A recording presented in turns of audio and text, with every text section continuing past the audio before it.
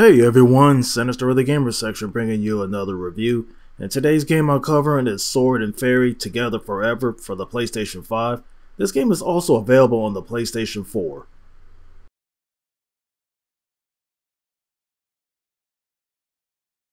The visuals look amazing on the PS5 and the game runs at a silky smooth 60 frames per second in performance mode.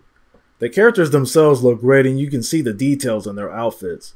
The environments also look great with the fires from the demon world to the grass and greenery of the forest. Some of the areas have reflections on them as you walk by.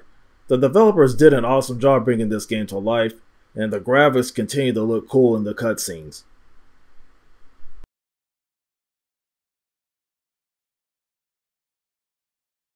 You can tell the devs took inspiration from several sources like the Wu-Tang films, Journey to the West, and Crouching Tiger, Hidden Dragon, the cutscenes and voice acting make it look like a movie that the Shaw brothers will be proud of.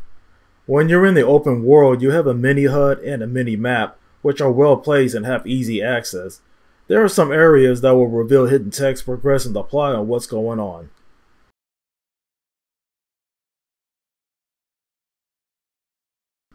When you start the game, you have three difficulties to choose from easy, normal, and hard. For the casual, easy is right up your alley, and for those who want a real challenge, will choose hard. The controls are responsive when moving your character, and you have the camera which you can use with the analog stick. You have your normal attack buttons along with your jump buttons to get you through the world. You attack enemies hack and slash style, chaining combos together. Defeating them nets you experience which you will need to when you get to harder to reach areas. There are bosses to defeat in different areas when you get to the end. Quick time events happen when you reach certain spots and you have to be ready for them or it's game over.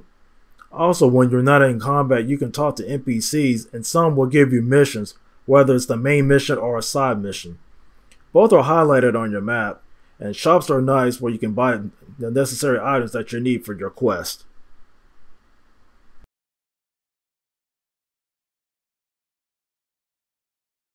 The only issue I found in this game was during the cutscene where the dialogue didn't match what the characters were saying. A patch will remedy this, but it doesn't hurt the game experience overall.